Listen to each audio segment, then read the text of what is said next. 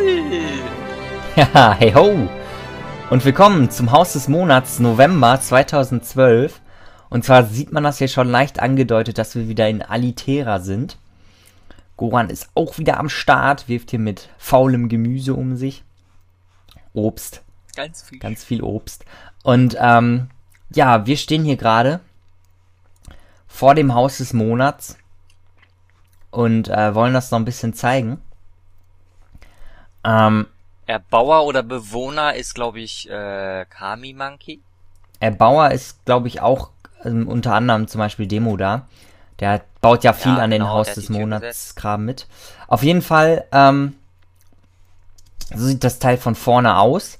Ähm, wir können ja mal kurz oben auf das Dach gucken. Also es ist eine sehr wirre Dachkonstruktion mit verschiedenen Höhen und Tiefen und äh, teilweise verlängerten Enden und kurzen Enden.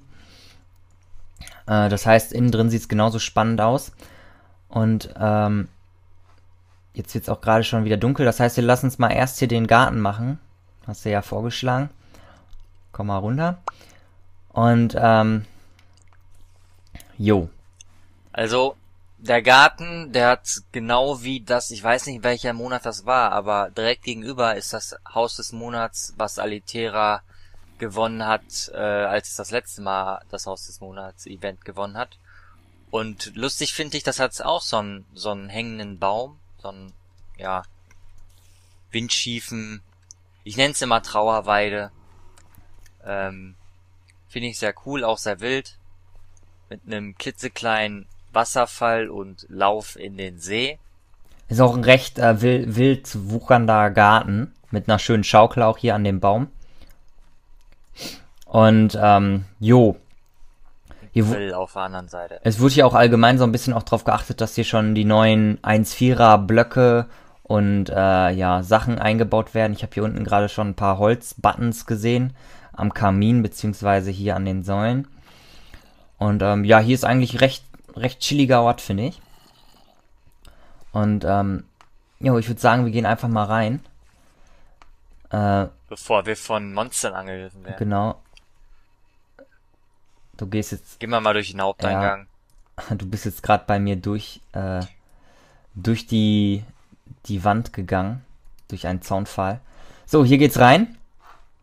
Da kommt man eigentlich in so einen kleinen Empfangsraum. So ein bisschen der Flur im Haus.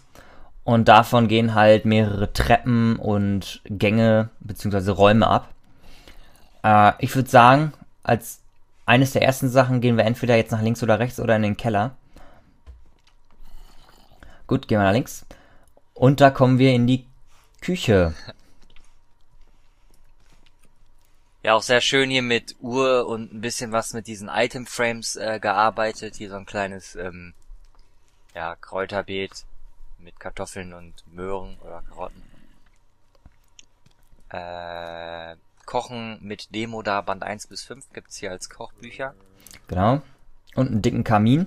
Wobei der Kuchen noch im Kamin steckt. Ja, das ist glasiert. Das ist ja mehr so ein, so ein Kochtopf, der über dem Feuer mhm. hängt. Aber das hat man ja damals auch gemacht. Genau. Einfach auf dem Kamin gehongen. Und in der. Eine Ecke, die Sitzecke, genau. Gut, so viel zu dem Raum. Was mir oder was mir auch, das kann man eigentlich an jedem Raum sehen, die Fenster, da haben sie äh, so ein Glasblock einfach als Mittelstreifen genommen und links und rechts da so ein bisschen Profil reingebracht, in den sie da die Glasscheiben reingesetzt haben. Ja, was eigentlich immer recht gut ist. Aber nun gut. So, hier geht's noch runter zu dem Lastenaufzug, aber meines Wissens nach ist das der Keller, den wir uns gleich mal angucken werden. Da kommen wir dann später dazu. Gehen wir erstmal hier weiter. Das ist so ein bisschen, ich weiß gar nicht, so eine Art Arbeitszimmer ähm, mhm. mit mehreren beschrifteten Regalen Hinten geht es auch noch raus auf die Terrasse und in den Garten. Zeige ich nochmal kurz hier. Eine recht große Terrasse übrigens. Und, ähm, jo, also hier sieht man so, so mehrere Schriften und die Wände sind alle ziemlich vollgestopft mit Kram und Regal und, und ja, Crafting Table etc. Ähm, und hier hat man auch, äh, ja, 1.4 typisch eine äh, Karte an die Wand gehängt wo man das äh, Spawn-Tal halt, sieht, das goldene Tal. Ups. Lass dich so, und dann abschließend hier im Erdgeschoss hat man, zum einen geht es hier auch nochmal raus auf so einen kleinen Balkon äh, in diesem Raum und es ist hier halt nochmal so ein, ich weiß gar nicht, so eine Art Schachspiel, Experimentierzimmer. Man sieht hier am Rand, dass es Wasserpfeifen äh, gibt da hat man hier die Braustände benutzt. Unser alter Amboss hier ist zu einem, ähm, da es ja in 1.4 äh, ja jetzt Ambosse so gibt, äh, habe ich das zu einem Spieltisch umfunktioniert. Da gibt es auch noch eine andere Variante mit Karten. Ähm, ja, dass das hier eine Art Spielzimmer ist sozusagen, wo man gemütlich in der Ecke sitzt und da diese Wasserpfeifen raucht. Äh, hier vorne sieht man zum Beispiel, müsste Vanille auf dem Tisch stehen. Eine Musikbox in der Ecke. Vanille? Ja, hier, hier hat er, ähm, haben sie hier so ein paar Ständer gesetzt. Und, ähm, jo. So. Kurios, dass die alle am Quallen sind. Naja, gut. Ich würde sagen, wir gehen in den Keller. Und dann sehen wir ja Yo. auch noch, wo diese Leiter hinführte. Mit dem Lastenaufzug. Hier. Also ich finde schon mal ein Merkmal an Kellern, finde ich ja schon mal die Combo ähm, Steinwand und Steinboden. Ich finde es immer äh, authentischer, wenn das jetzt nicht so ein ausgebauter Casino-Bereich mit äh, Holzboden und so ist, sondern schön kühl gehalten ist und ja, so kellermäßig. Ich glaube, halt. hier fehlt ein Block, sehe ich gerade. Abzug in der Punkte. So, ähm, wir haben hier jetzt noch so einen Hebel, der auch äh, augenscheinlich hier so einen kleinen Raum öffnet. Ähm, da ist jetzt aber nicht groß irgendwie was Extremes drin. Da ist jetzt so ein Drachenei. Äh, haben die hier so ein bisschen ausgestellt gehabt, die Erbauer. Oder ich weiß jetzt nicht, ob Demo da alleine das Haus für Kame Monkey gebaut hat oder beide dran saßen. Auf jeden Fall ist hier äh, ein Drachenei drin in einer Vitrine. Und wenn man jetzt wieder rausgeht und in den Nebenraum kommt, kommt man zu diesem besagten Lastenaufzug. Und äh, da renne ich dem Goran einfach mal hinterher. Jo, äh, allgemein ist der Keller furchtbar riesig, also äh, ungewöhnlich riesig, sag ich mal. Ähm, was mir am Keller am besten gefiel, war diese Kühlgrube, nenne ich sie mal. Ich weiß zwar nicht, wie die Temperatur in drei, äh, vier Blöcke Höhenunterschied so absenken können, dass, ähm, dass auf einmal hier Eis und Schnee, aber das ist ja eigentlich. Ich glaube, es geht so ein bisschen ums ähm, Prinzip, so dass man da irgendwie so eine Kühlgeschichte hatte. Ja. Und es ist auch irgendwie cool, weil ähm, ich denke, bis jetzt kommt keiner so auf die Idee, so einen, so einen Lastenaufzug in so eine Kühlgrube zu bauen, was ich da so, so ein bisschen speziell gefunden habe allgemein im Keller, was mir äh, persönlich nicht so ganz gefiel, war jetzt zum Beispiel, dass die Deckenbalken nicht, äh, oder dass kaum Deckenbalken waren. Aber das ist auch immer so ein, so ein bisschen persönliche Sache. Oh. Jetzt habe ich hier was abgehauen. Mal eben Pause, es hat geklingelt. Okay. Ich baue. Wir lassen weiterlaufen. Ja.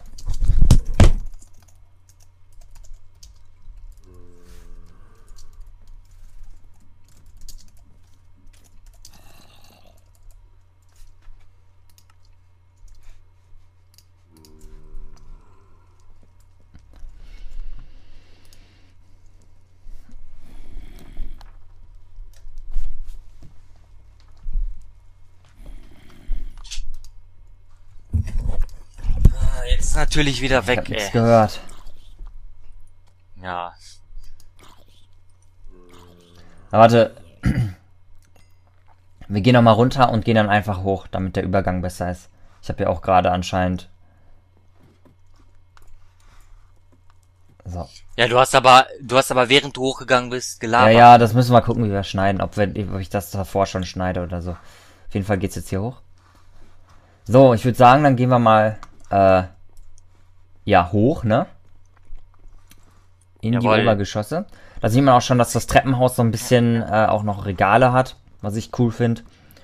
Und ähm, die Bilder sind irgendwie noch beschriftet, sodass man so ein bisschen auch mal stehen bleibt und guckt, was ist denn das, was da für ein Bild aufgehängt worden ist. Ich glaube, das ist dann, das ist dann quasi nicht der Name des Bildes, sondern ein, so der angebliche Maler höchstwahrscheinlich.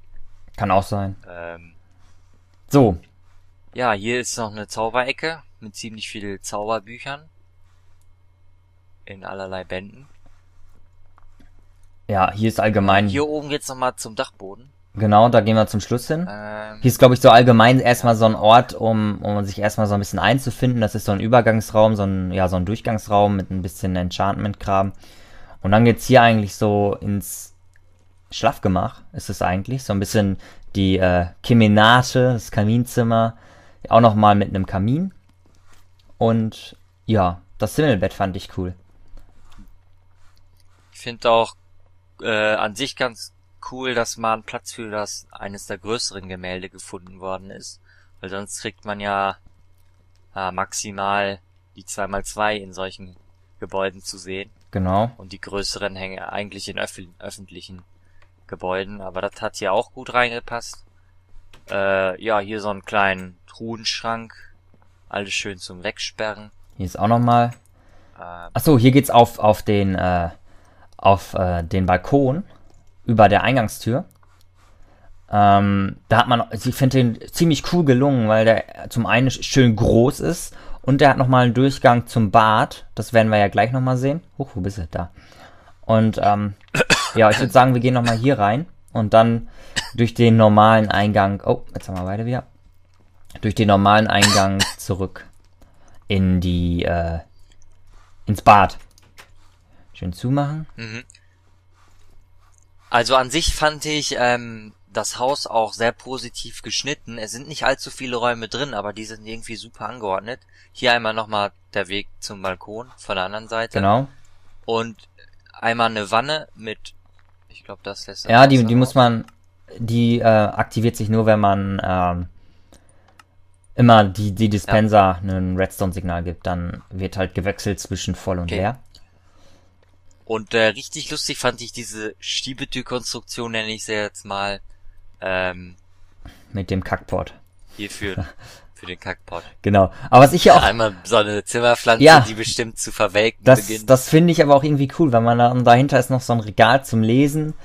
Ähm, ich gehe mal stark davon aus, dass das äh, ein Regal ist von der ähm, hier von der Enchantment-Ecke, dass das mehr oder weniger ja nicht absichtlich gemacht worden ist, sondern dass es einfach so kam, als als äh, derjenige, der das halt gemacht hat, ähm, dass da so, ein, so eine Pflanze hinsetzen wollte, sondern oh cool, Buch, lass ich so. Also das kann ich mir zumindest vorstellen.